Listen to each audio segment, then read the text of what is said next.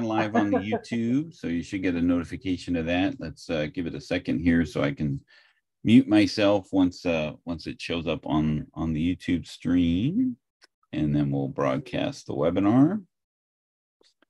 All right, we'll start the start the broadcast for for the webinar and let some folks um, start filing in. It's always like you know, like this grand, uh, almost like a Willy Wonka. You know, the the doors Open of the, the webinar are opening, and and people are coming in, and we we just don't have any Oompa Loompas here. But uh, hi, Michelle. How are you today?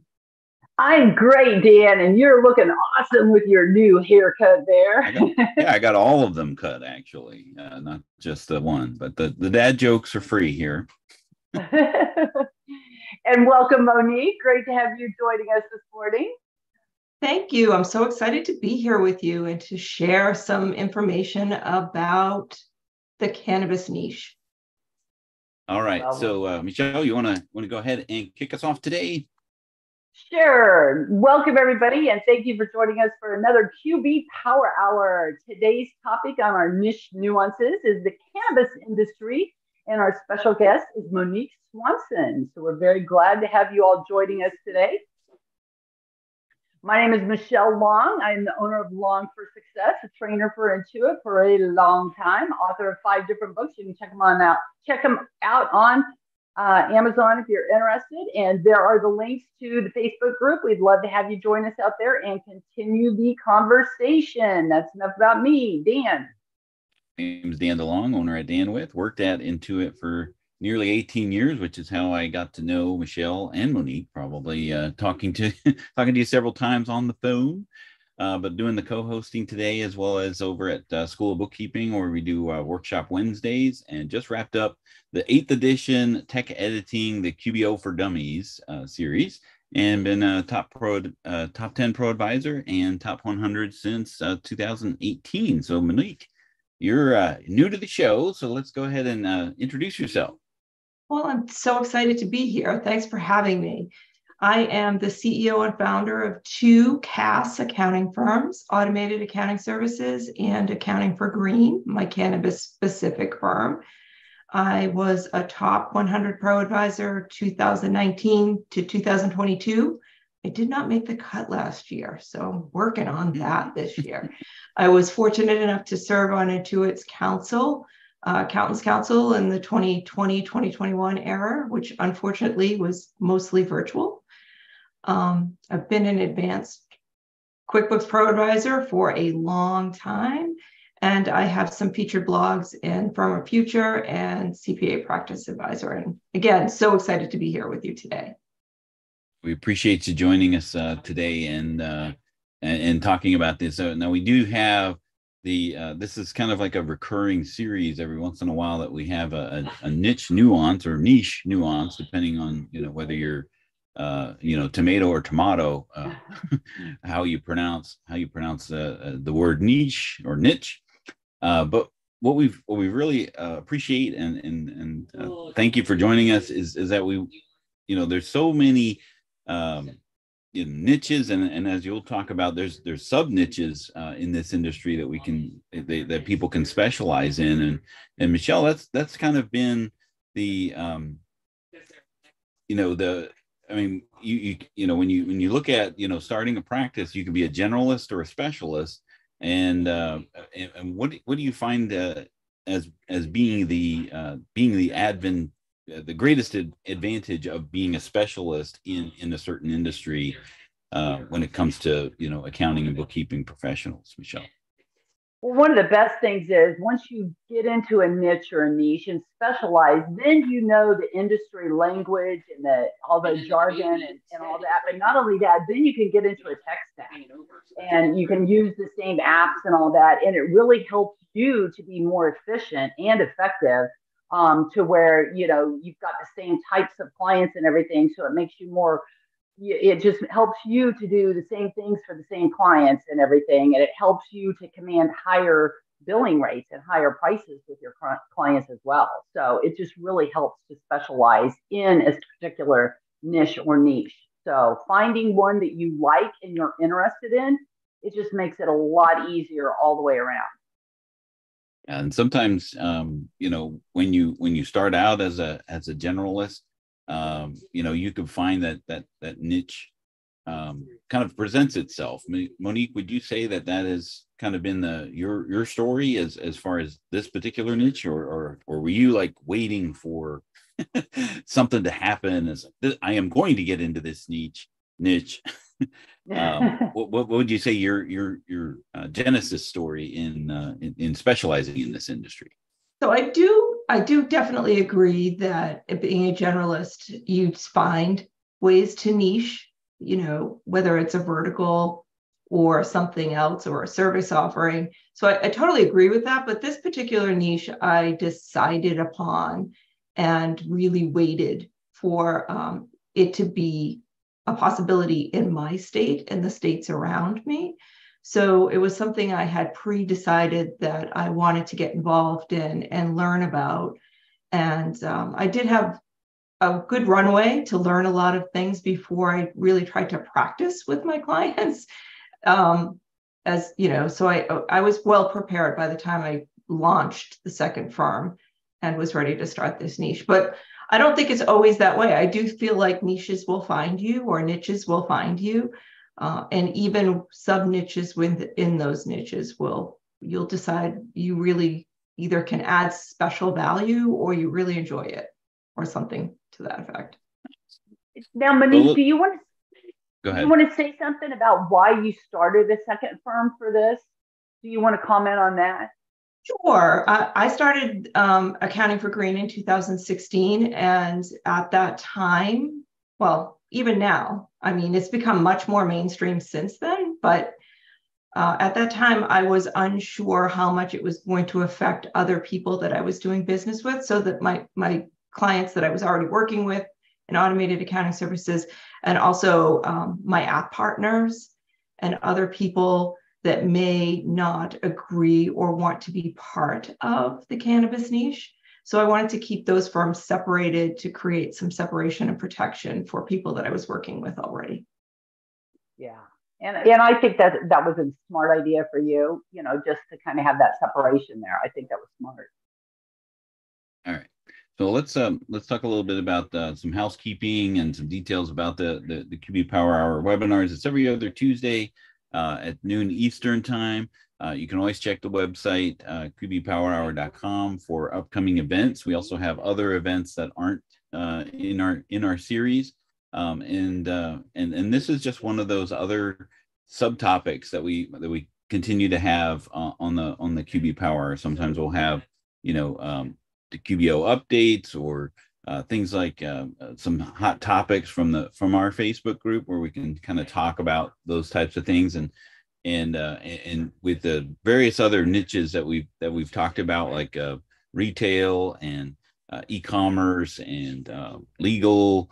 Um, you can find those all on the on the on the QB Power Hour. We we do save those replays if you if you want if you're shopping for for a, a niche uh, you can you can take a look at some of those things that we talked about because all of these niches will have some kind of speciality uh, or um, you know industry specific type of thing that uh, that that you'll really want to gravitate around and, and we'll talk about that with Monique today. Um, so if you de- you have specific questions about things that, that Michelle, Monique, and I are, are talking about today, please put them in the Q and A because uh, especially since we only have an hour to talk about this, and uh, we will probably find that we will fill that up pretty quickly and hope hopefully get to everything that we want to talk about today. And we may need to have Monique come back to talk about some of these sub niches and, and other special specialties that that um, that this industry uh, talks about.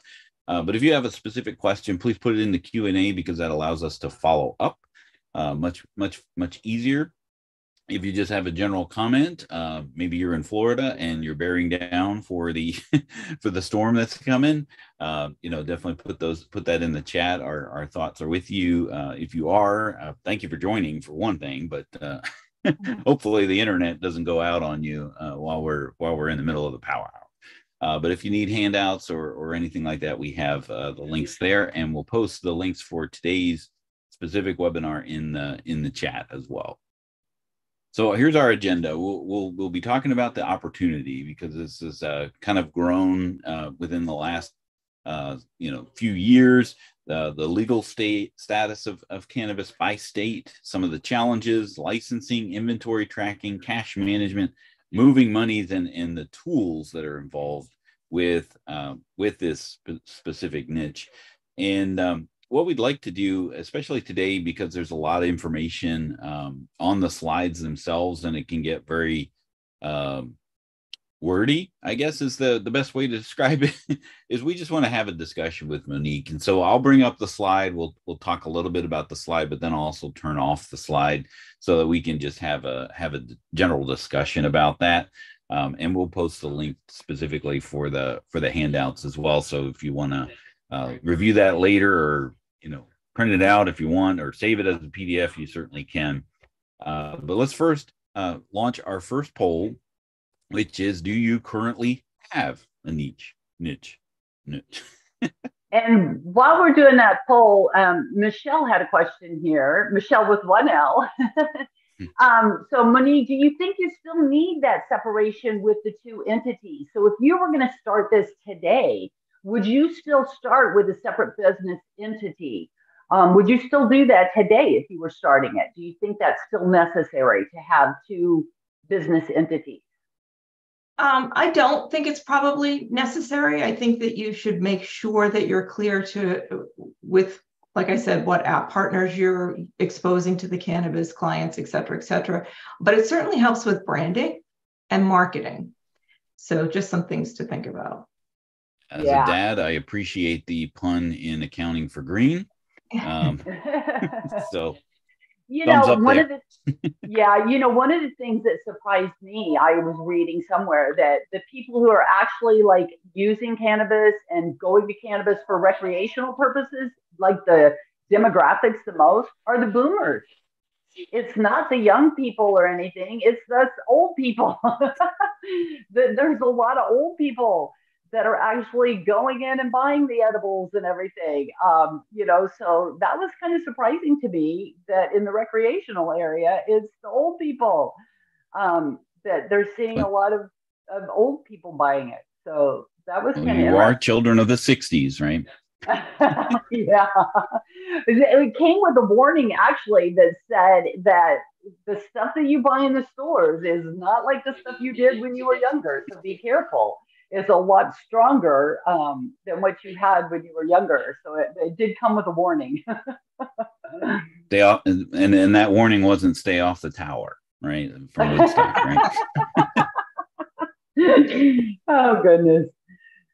Yeah, we'll we'll have we'll have a little bit of fun here today talking about some of these things. Um, so talk a little bit about the the industry itself and the and the opportunity, Monique. So the opportunity is is that last year it was an over 13 billion dollar industry and it's the fastest growing industry in the US currently, which means there's plenty of opportunity to find a niche if you want to service this industry. It certainly is not the easiest industry to serve, but I'm going to I'm going to say that probably anybody that's niching into something will tell you that it's a little more complex to be a specialist. So yeah, that's one of the things that I think um, in our discussions, you know, prior to coming up here, there's a lot of surprises in this particular niche than than any others, and uh, we'll we'll we'll unpack some of those things. Um, but how far back does it go? Like, uh, you know, there's some states that have had uh, this uh, as far as medic medicinal uh, that this is uh, this has gone back early part of 2000, right? Mm-hmm. Yeah, um, actually, there was which is was deemed illegal after a while, but there was a, a 1992 there was a membership club in San Francisco that supported um, cannabis. And so, similar to you know the types of clubs you might think of as wine clubs or things like that, um, they they broke out and were using cannabis as part of this club. Now, that particular um, use got shut down, but that's that's probably the first organized cannabis sales of, of any sort that there were. It was 1992. So, and, and you created or you you you put as part of the the slides a listing of every state that um, that either has it legalized for recreational use or um, or, or medicinal, and, and what year that that actually occurred. So I appreciate you doing that. California, 1996 was when yeah. we had medical, right? Yeah, even Alaska uh, prior to Y2K. Wow. and then I think Colorado, I think, was the first to do it for recreational, I think in 2012 because I remember we were out there the year it became legal for recreational, and it was crazy because the lines of people, I mean, it was just nuts. The people were lined up, and it was just absolutely crazy. Yeah. Um, Washington State was also in 2012. Okay, okay. But I think it was after Colorado in that year. I think it was the second state and then the brilliant marketing of the Girl Scouts to uh, set up their booth right outside the dispensaries was uh, even better. I know. Think of the girls that did that. I mean, that was just genius. Those girls were genius. You know, that was smart. about your impulse uh, impulse purchase uh, uh-huh. going in or coming out. Uh, so talk a little bit about some of the challenges because the, I think I think the biggest thing is the whole legality uh, legality issue, but uh, this this tax code uh, talk talk a little bit about that. Right. So, cannabis is still a Schedule One illegal drug. So it means that even though it may be legal in certain states, it's definitely still federally illegal. And so the federal government came up with IRC 280E, um, as an offset. Probably its intent was to make sure that cannabis sales could never be profitable in any way and those businesses would go out of business. It didn't work out quite that way, but it was probably still beneficial for the IRS because the IRS does not allow any normal and ordinary um, expense deductions. So cannabis companies literally pay tax on their gross profit. That is uh, that that is an amazing. Is, there's no other industry that does that. Is that correct? That is correct. So, so that would be the easiest tax return ever, right? How much money did you make? Send it in. You know, tax it and send it in. well, because you know, um, accounting professionals and tax professionals are trying to help our clients, cannabis companies. We do do a lot of leveraging of cost of inventories for those who we can help with that. So, cultivation facilities and manufacturing facilities. Um, it's less able to be anything for dispensaries because they can only really deduct the cost of the product. So, we leverage cost of goods sold in the best way possible. And yes. a huge amount of compliance and documentation that is needs to be done so that it is uh, will pass an audit. You know, it has you, to. You find do you find that there, it's more scrutinized because of because of that uh, that there could potentially be a lot of people putting in their cost of goods uh, things that aren't cost of goods right? Like so they do they have a lot more uh, scrutiny around that?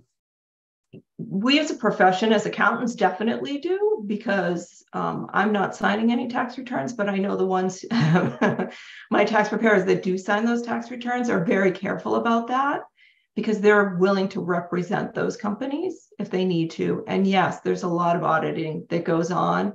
Um, and we feel like there will be more again now that we've kind of come out of the pandemics, because I feel like auditing in general was kind of quiet over the last couple of years. But um, we're prepared for an uptick in that. So, yeah, I think as accounting professionals, we're really interested in making sure that the documentation is good and that the compliance rules are good. Uh, probably do it yourself clients might be less interested in that and probably are trying to leverage that in a better way. So I think it's important for for these you know these cannabis licensees to have the right people in their corners so that you know if and when and we always say when they are reviewed and audited. They have the documentation and the people they need to back them up. So now, Monique, um, oh, go ahead. Well, so Monique, we talked about how um, there's challenges with these clients, and, and we were just talking about the inventory tracking and everything. And, and when we were talking, you explained how there's actually kind of different types of cannabis clients. There's kind of like, and Dan, you might want to put up the licenses slide. That, there's kind of like a farming type of client, kind of like a and uh, manufacturing type of client, and then there's also kind of the retail type of client. Do you want to talk a little bit about different types of cannabis clients? That there's not all just one type. There is not. And there's so many different licenses, and the licenses are different in each state, and there's tiers within those license groups. But here in front of you are the three probably most popular. And yes, cultivation is farming, and manufacturing is manufacturing, and it's uh, for the most part food manufacturing, so or process manufacturing. And retail is very retail. I mean, it, you know, if you already specialize in a retail niche and and you love POS systems and you know you love merchandise tracking, then that might be your your sub niche right there. So all of these are dealing with inventory and inventory tracking in this industry is really huge, isn't it? I mean, that's that's critical on them tracking their lots and everything and the distribution and all that. That's always a big piece of this, isn't it? The inventory tracking. It is, and not only is it critical, but it's it's tracked in state tracking systems. So, it, and again, it depends on the st- state, but on average, once a, a, a plant grown from seed or a clone reaches about two and a half inches tall, it's digitally marked with a tag, and that tag and package numbers follow it through its whole life cycle until it's sold to a customer. So um, these state tracking systems are no joke and they track everything. So they even track when product goes out for testing. Um, it, it knows what the testing results are and everything else in that batch or lot that came from that grow group um, is, is matched with that tracking. And um, anything that's wasted, like anything that's tested is wasted or anything that's wasted uh, is tracked completely. So the inventory tracking is no joke. Uh, and building in those costs of inventories is really important so that we are leveraging the right amount of costs for those clients to make them as profitable and pay the least amount of tax as possible. Now, um, now there's a, another another substance that that that is legal, CBD, and um, how does that uh, how does that play into you know these these sorts of these sorts of industries? Uh, do you know how do do they do they have to set up separate entities if they're doing one and the other? Because you know to in order to assist with some of the uh, ordinary expenses that that couldn't have been or is, is it does it is it just uh, across the board uh, you pay on gross profit regardless of if you touch if you touch the cannabis industry then you're you're paying on gross profit. That that would probably be true. So I'm I'm not a lawyer, so the the entity choice on cannabis is very complex. But usually the different licenses um, are separate entities. Not always. Like there are definitely some vertically integrated um, cannabis companies that do cultivation straight through to retail, and they have multiple licenses in the same um, overall entity. But hemp farming or legal hemp farming for CBD um, has to be certified. And so there are people that grow CBD that are not certified um, and those that are. So only the certified product can cross state lines and is actually legal in all. Got it. So, and that's another sub niche right within this niche is working with right. CBD sales.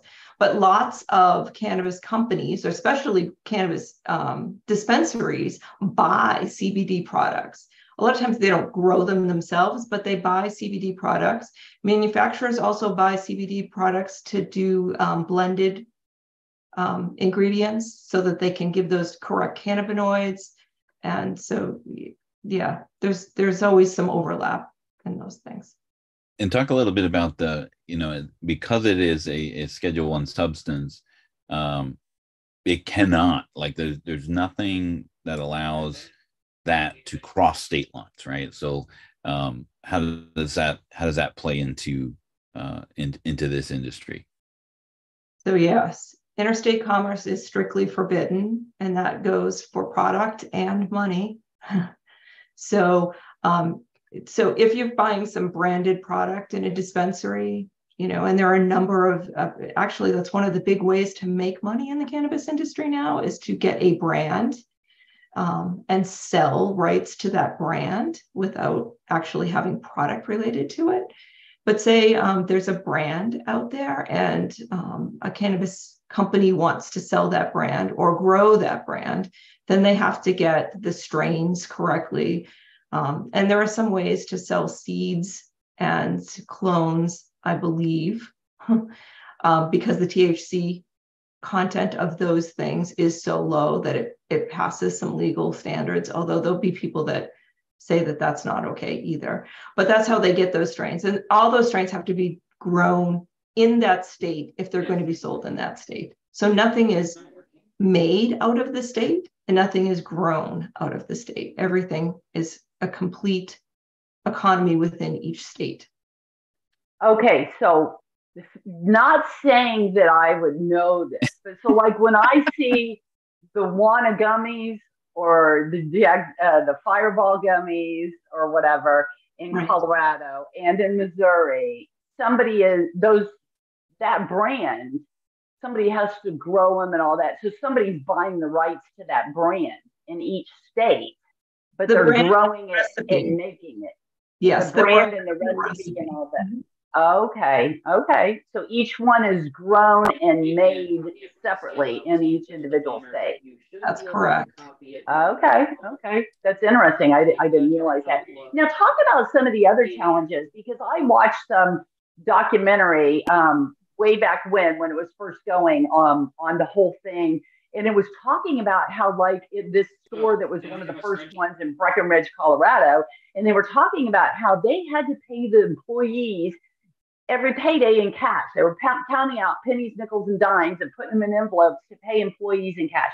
They talked about needing an armored truck and security guards to go pay thirty, forty thousand dollars in sales tax at the the state, you know, to go pay their sales taxes and stuff because they couldn't have a bank account. Can you talk some about cash and how, you know, how do they handle all this stuff? Because at that time, this was years ago, at that time they couldn't have bank accounts and stuff. Can you talk about some of those challenges in doing payroll? You know and somebody had the question of can you use qbo you know with this? And you know you and i were talking about challenges in doing payroll and stuff. Can you talk about some of those challenges of doing their banking handling cash and payments and all that? Can you talk about some of that for it i can. Banking is a huge challenge. It's a huge issue. There are you know have been several banking acts um, that have been in front of the Senate and Congress, and there are a few still out there. And we're hoping someday that banking will be um, more available to all the states. So the banking that's used now is generally a credit union or a state chartered bank within the states that are legal and usually has a compliance group within that bank and outside insurance above FDIC insurance for um, the banking insured. But before there was banking, all of those cannabis companies did business only in cash because they had no place to put their cash. They could only put it in safes. They couldn't deposit it into banks. They could not get bank accounts. If they opened bank accounts, they were often closed and all the funds were held and they, they didn't get their money back. So then they didn't trust banking. So um, it's been a slow evolution with banking. And um, as far as payroll, um, there are payroll companies that offer um, compliance bank uh, payroll for cannabis companies. It's always a good idea to be upfront when you set up any of these services. So if you're looking for banking, you want to go into the bank and say, I'm going to open an account for a cannabis business. If you're getting payroll, you want to say to your payroll provider, I'm opening an account to pay employees under a licensed cannabis operation. Because if you don't, um, the chances of that solution not working for you are high. So ADP is not going to run your payroll. Paychex is not going to run your payroll. Um, and I would not have Intuit run your payroll either. Um, no connected payment services should be used when in a QBO or QB desktop file. The, that you should use the accounting GL as a standalone only without any connected services that are on any payment rails. Um, because otherwise, likely there's going to be an issue. Um, so, uh, being upfront about what you're doing and when you're doing it and using um, solutions that know what they're getting themselves into is my best advice. So now there is payroll, there is some banking, um, but there is still a number of issues with sending and receiving payments. So, you know, um, some taxing authorities will only take money orders or treasury checks. They won't accept anything else.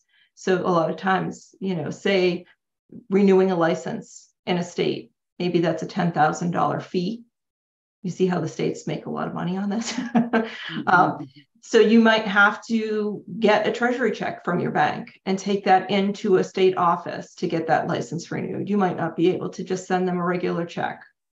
So um, every state's a little different, and, but the way that you move money can really only be on ACH in a compliant bank or wire or by check. So you're not using any payment services here. And if you are, you're subject to having that shut down for sure. So, along with that goes security issues. I mean, you know, they have to have then security. You know, if they have to go to the bank and get cash, and when they're taking cash, and I mean, I mean, they have to have huge security um, surrounding these places and everything because they're dealing in so much cash and everything.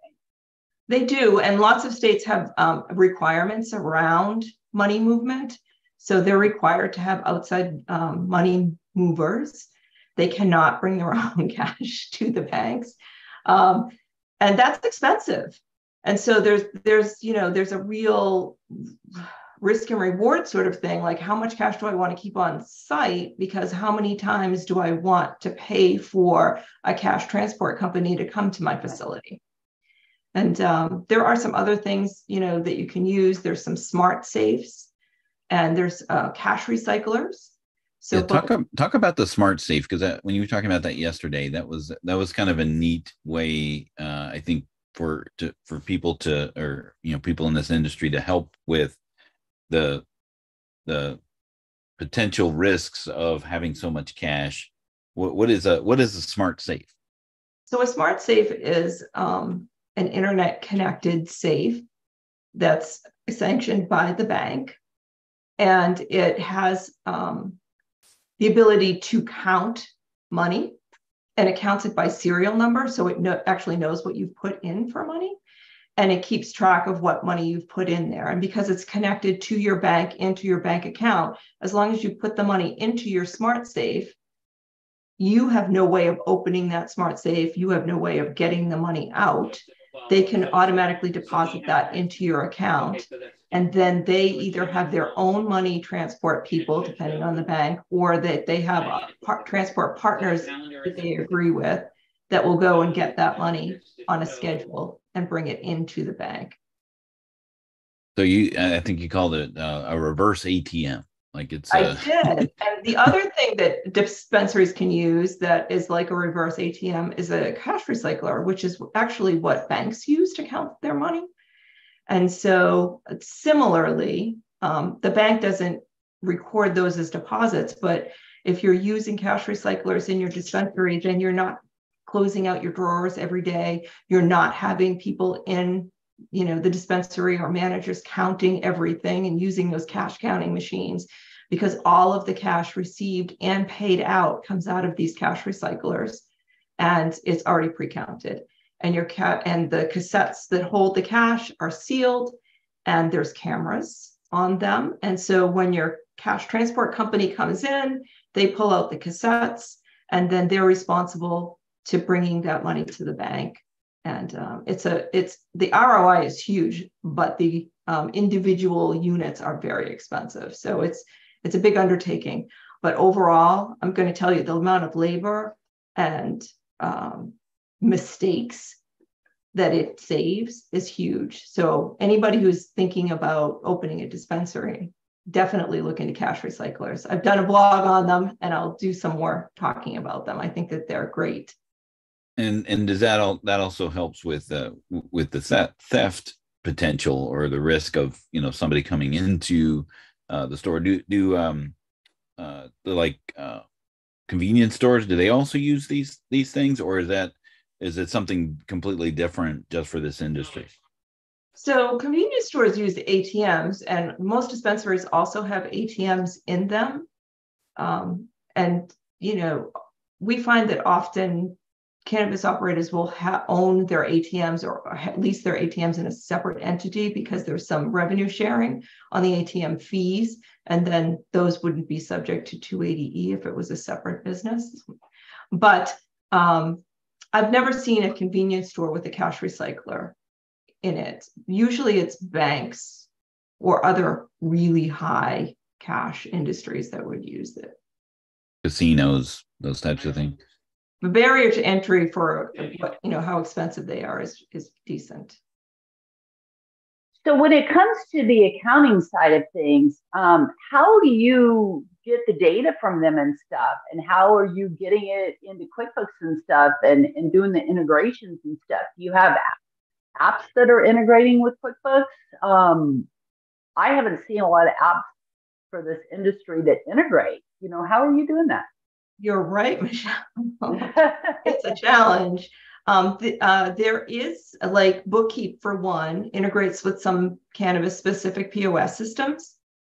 Um, some of those integrations are better than others, but it is a crutch. So it is one way to set up some of that. Um, just like other retail situations, you're going to want a daily sales receipt or daily sales posted. And you're also going to want to track your, you know, your discounts, your loyalty um, card credits, and there's a whole, all of the things that are retail are also built in here. So there is definitely loyalty programs, there's gift cards, there's all of that built in. And having a way to, you know, to get that posted to QuickBooks or Xero or whatever GL you're using on a daily basis is super helpful. We don't always get it. Sometimes we have to set up a manual daily sales receipt and we have to post it that way when we're doing retail.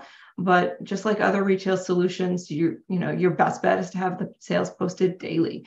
Um, there are some ERP systems uh, that we use for manufacturing and cultivation and tracking inventory um, and tracking movement that are connected to the state reporting in just you know um, inventory requirements but not a lot of connection to GL systems yet. And I feel like that will get better as you know as the industry gets a little older and you know those um, they get a little bit more investment money into those software apps and they can build out their you know runway into the things that they want to add in um, i don't feel that they understand quite yet that targeting accountants is a good way to get their apps better known um, so I would like to create some awareness there. If anybody's working with any of those app partner, you know, those app partners for cannabis, you know, you can you can speak with them and tell them, you know, partnering with me is a great idea because I'm going to get your app installed and help you work with those clients. So and we had um, we had Bookkeep come on, and you had mentioned them last uh, when we when we were talking. But Bookkeep, um, one of the things that we we really like about them is they don't shy away from uh, a challenge, right? Like, so if there is an accounting integration or report that you can get out of uh, the software that you are using, typically you can send that to them and they'll help create the the integration but they would need someone like you monique to really massage the data and make sure that it's posting in the right place that uh, you know for this particular industry right yeah, and I have helped them on a no, few integrations there. Yeah, Lori's uh, watching Lori, actually yeah. from Book. yeah, Lori's in the chat saying I would love to help here, so she's giving you her email and everything. So, um, so Monique, I have a question. So to get into this industry, um, we were talking the other day about how people have to have millions of dollars to get into this industry. You know that it's it costs a lot to get into this industry and start a business. You know, for the the companies, not necessarily for us accounting in, um, professionals, but for them to start a business. You know, to get the license and to get approved, how it takes a number of years to start a business and to get a license and all that.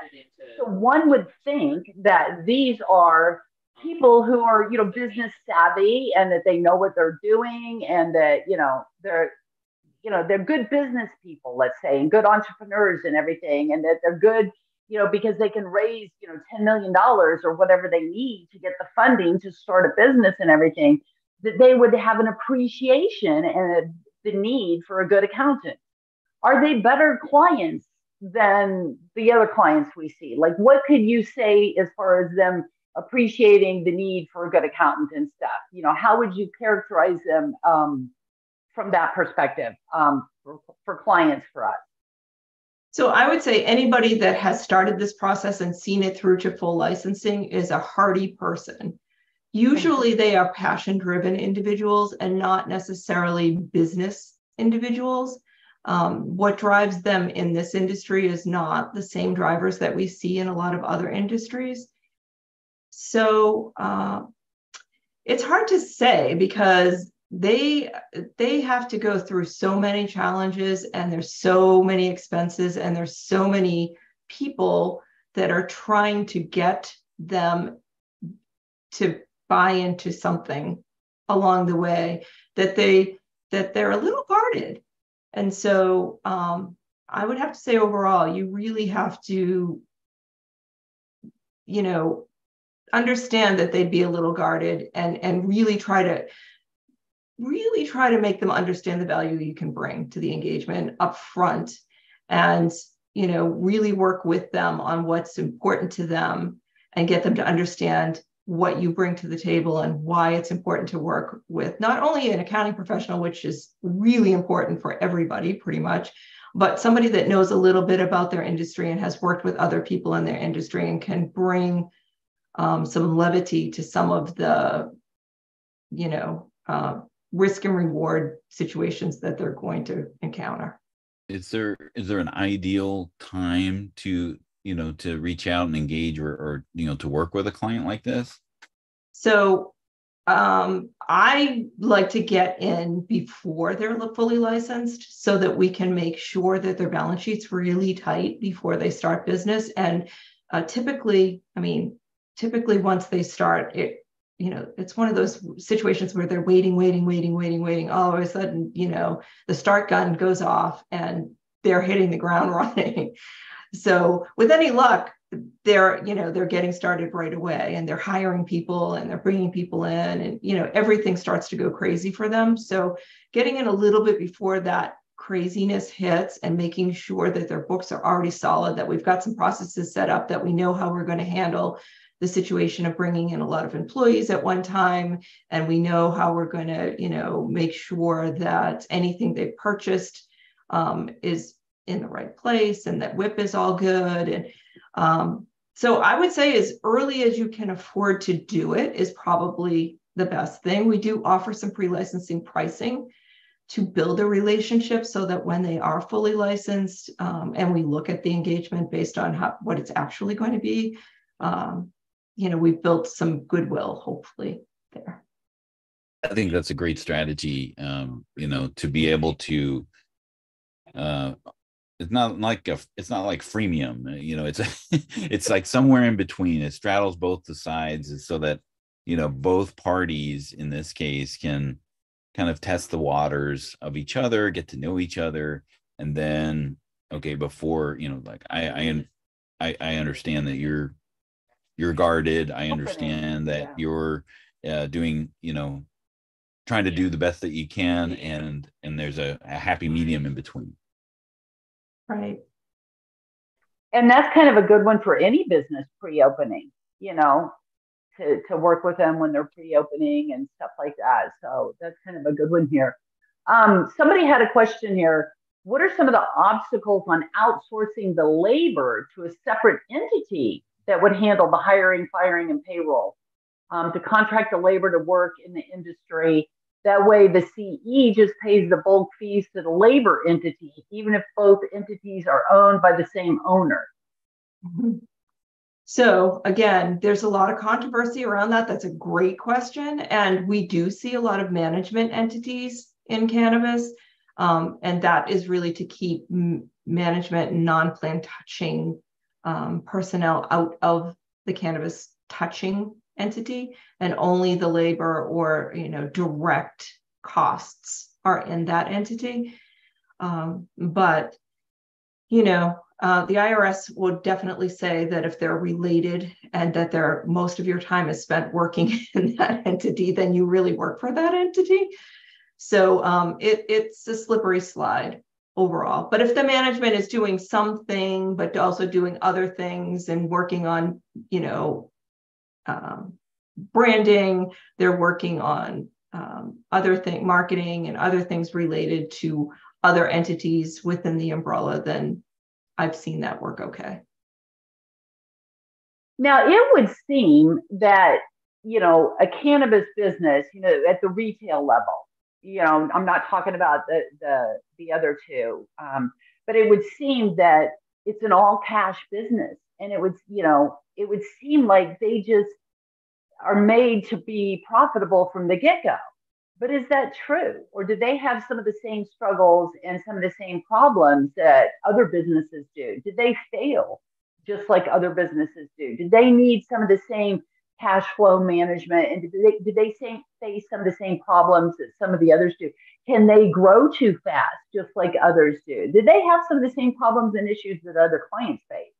And some, and as well as some of the manufacturers and the growers, do they need some of the same same you know issues do they face some of the same issues that other clients face i guess they certainly do they and they do grow so fast they well some of them fail right off the bat right and and a lot of reasons for that are unique in so much as that they get themselves three years before they can open in a lease that they can never afford because they needed to get a host community agreement to get their license.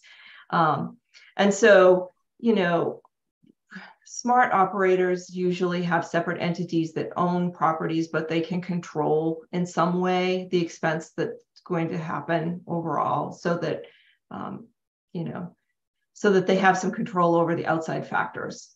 But when they have no control over the outside factors and they're in a lease that they can't afford because they're never going to have the traffic that they thought that they might have at that particular um, entity for whatever reason, traffic, you know, they had a study that wasn't good they just completely botched their forecasting um, or you know they just didn't have a plan at all and their foot traffic isn't enough and their daily sales aren't enough to really support the things that they you know have in place. And a lot of them are going for long-term leases because you know they have to get those host community agreements in place. And so they rather know that they have a place and that they have something that um, is is already you know approved through their licensing.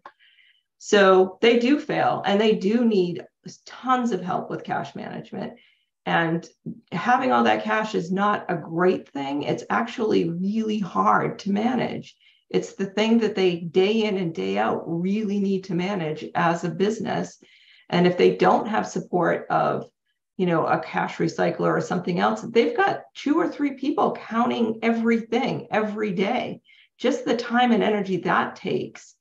Um, they also have to count their inventory and prove that out. So there's a fair amount of work that's involved in being a cash mostly business.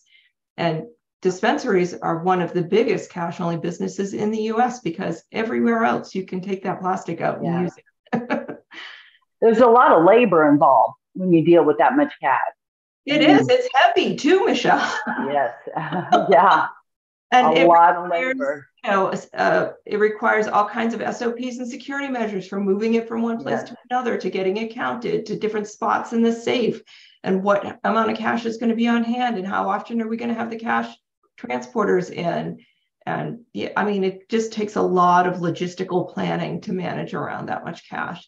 But if you plan to get $40,000 a day and you're getting $8,000 a day, then your forecast was way off and you need somebody to help you figure out you know, why, how you can do better with what you've got or why you can, you know, why it is that way. Can you change it? Can your pricing change? Can you buy things more in bulk, least less expensively? Do you have, you know, can you save up a certain amount to do that, to carry more inventory? All the same things that we can help our clients with on, on a regular basis, you can apply here for sure.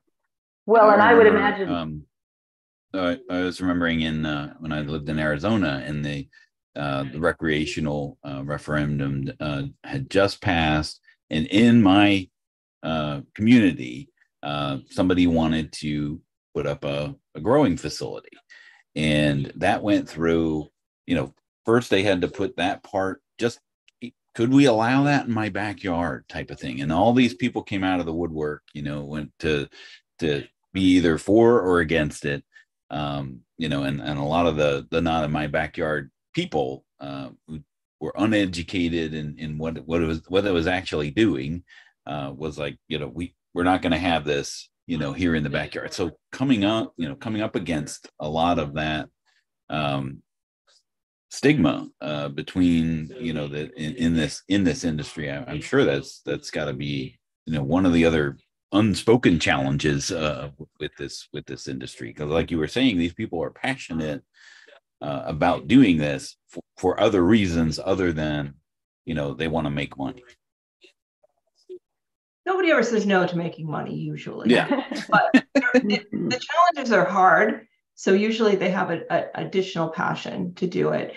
Um, each state is a little different. They all have different amounts of licenses and the places where they'll allow those licenses. I can tell you in Massachusetts, um, our CCC, Cannabis Control Commission, allowed um, in, um, individual towns and cities to opt in or opt out overall and um, and then even with degrees in there. So some could opt in to um, medical only, some to recreational, some to we only want it, you know, in certain places in town or the, that kind of thing. Uh-huh. So uh, a lot of you'd be surprised where some of the cultivation facilities are. There are many places where you would never ever know that there was a huge cultivation facility in an area because they're generally not on the main streets yeah, and it doesn't have the same smell as uh, as a as a distribution. Well, they have huge requirements around there. There's special H. I mean, just fitting one of these facilities out is incredibly difficult because they have to have built-in generators, they have to have special HVAC systems and air handlers, and and cultivation facilities that do extraction services have to have um, um, bomb-proof uh, booths to do the extraction in. So it's no joke building out these these facilities, and the requirements are are huge for them. And again, varies yeah. greatly from state to state, but overall, it's pretty complex. I, uh, I put up. You know, we're running. We're running uh, to the close the top of the hour, so I wanted to make sure we got our our poll questions thrown in there. Uh, so, is there any aspects? So, this is a question. Are there any aspects of this niche that gives you uh, cause for pause. And uh, this is a multi-select so you can uh, you, you, can select as many as you as you want here but I, I can see the they're coming in and there's uh, all the rules and regulations. So you've you've definitely uh, caught, scared some folks with all the with all the rules. Yeah. well and that's important because if you're an accountant that doesn't like you know inventory you know like me this would not be a niche for you you know what i mean um, because that is a big thing, you know, and all those rules and regulations and stuff are key. So, you know, one of the things though that I have noticed is that when you're in an industry like this, it's discretionary spending. Um, you know, it, it's like I had a client that had a specialty sporting goods store, and they they sold things like hunting and fishing gear, but they also sold guns and things like that. You know, part of the hunting and stuff. And when a casino opened up, it hurt them because that's also discretionary spending you know, the cannabis for recreational is discretionary spending. You know, so when the economy and inflation is going up and people are hurting, that's going to hurt discretionary spending. You know, and that's going to, I think, affect sales. And I, I kind of been watching. We've got some nearby, and I've been watching just the cars in the parking lot and things like that. And I have noticed that when they first opened up, there were a lot of cars there all the time, and there's not as many cars there as there used to be. And I also see more and more sales that you know they have you know um, uh, edibles on sale on Monday and two two for Tuesdays, and you know they're running sales and promos just like other stores do, um, and things like that. So I think um, you know they affect that the economy affects them just like it does other businesses and stuff. So I think they face some of the same cha- challenges. Now, Kim is saying people purchase pot before food, but the problem is when they eat cannabis, then they need food too. So they kind of go together. they go hand in hand. so, you know, those two things kind of go together. But, it, you know, a lot of times, though, you know, these these businesses they do face a lot of the same challenges and stuff um, you know so we need to remember that you know i think a lot of times people think this industry it's going to succeed no matter what i guess and that's not the case they face a lot of the same challenges that other industries do um, monique would you do you agree or disagree or what are your I thoughts? definitely agree and um, usually what happens and you'll see this we can we can use uh, california and colorado as examples um, in the beginning of it becoming legalized in a state there's a big boom. Mm-hmm. and um, and there's a lag for a number of cannabis operators to get fully licensed and open. So it takes a while for all that to happen. And when that first happens um, the cultivators their product is needed every place right so um, the cost of, you know, the product for the, you know for the dispensaries or other distribution is high, and then it tends to go as as the market matures, it goes down. Um, because now there's plenty of product on the market. And the same thing with the dispensaries. When they first open, people go there and then they buy enough stuff to last them for a while, and they don't need to go shopping again for a while, um, unless it's Thanksgiving or something. So I was going to say there are a number of big um, cannabis holidays and Thanksgiving the Wednesday before and um, um, the Friday after are huge cannabis sales days. So something about the food and the family drive a lot of cannabis sales. Um, but there are others that are pretty big um, cannabis holidays. But there are specials, and those and the dispensaries that do well know how to market their own product. They know what makes them special, just like we as accountants know what make us and our firm special and where our value is. The dispensaries need to find that as well and be marketing to those people. And that's how they do well. Monique, do you have any idea from your clients? What's the breakdown on medicinal versus rec, recreational? So um, I I have worked with clients that sold both. And I've worked with clients that were medical only and received uh, adult use licenses and sort of merged into it. Um, the big difference between that I've seen, and again, n- not a bud tender or a cannabis specialist, but the big difference I've seen between the, the, the things that are offered for sale for medical patients versus adult use recreational are the, the amount of THC that's in the individual things that you can purchase overall you're still you're still limited to whatever you can purchase in that state in total. Um, and sometimes there's less uh, strains available to medical. You know sometimes there's the service offering sometimes isn't quite as large but there, it's a huge market. I mean there's plenty of medical patients out there that need product and uh, oftentimes they pay less in taxes as well so it depends on the state again.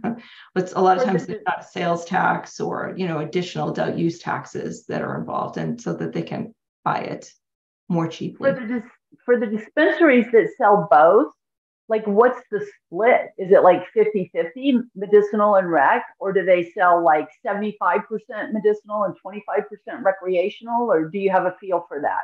I believe that they have to be sold in separate areas within the dispensary, even. I know, but when you look at their revenue, what percentage is coming from medicinal sales versus recreational sales? Do you have any feel for that? Is beating out medicinal sales at this point, for sure. That's that's what I was curious about. I mean, I know there's a huge need for recreational. I mean, a lot of people need it and use it and everything. I, I just was curious. So So, and Donna's saying in Florida, it's all medicinal. And a lot of states are still just medicinal. And okay, and Stacy's saying 75 to 95 recreational. I'm going to launch the okay. uh, the last poll, and while that's being answered, um, the uh, what we have up on the screen is, is when you, you, have a cannabis conversation, so you can continue this conversation. Talk a little bit about uh, what what, yeah, so uh, what people can do. Yeah, I'm doing a webinar in September, and it's for um, you know accounting people as well, but this is really for people who are in the licensing process so we can kind of go through what the expectations are. Now, they have very strict instructions from their regulating bodies about what they need to do to submit for their license and to get fully licensed.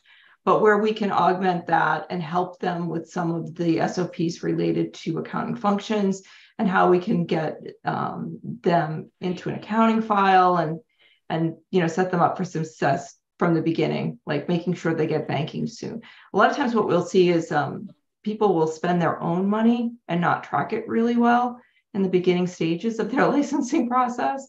Um, and that's always been a challenge to try and get the documentation around that. They don't understand that they have to have every piece of documentation and that they have to have um, full clarity around how and when that money was spent so that that's a little bit about what that conversation's about. But I would love it if anybody who's interested here that we're talking to that's in the accounting industry wants to join us.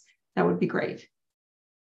And you can just um, you know, if you're watching this on YouTube or or watching it live, you can just take out your phone, take a picture of the of the QR code, and that'll take you to the take you to the right place to to sign up, right? That's right. And if there, the link is also on there if you want to just type it into a browser. Exactly. Well, Monique, thank you again for for joining us and and and leading us in this uh, in this conversation because we certainly could have gotten into the weeds, no pun intended, uh, with with this. Um, it was and, very enlightening. well, it's been great. I thank you both for having me. This has been fun. Yes, thank you, Monique. It was very good. Thank you very much. All right, and everybody who joined us uh, today, appreciate you joining us. Um, those of you in in Florida, um, you know, hunker down. I think is the um, is the is, is the term of the day. Yeah, everywhere that you might be affected. I know. My prayers are out there for everybody, yeah. and hopefully we come out mostly unscathed. Yep. Stay safe, everybody. Thanks, right. Dan. Thanks, Monique. Thanks. We will see you next time on the QB Power Hour, and hope you all have a great day.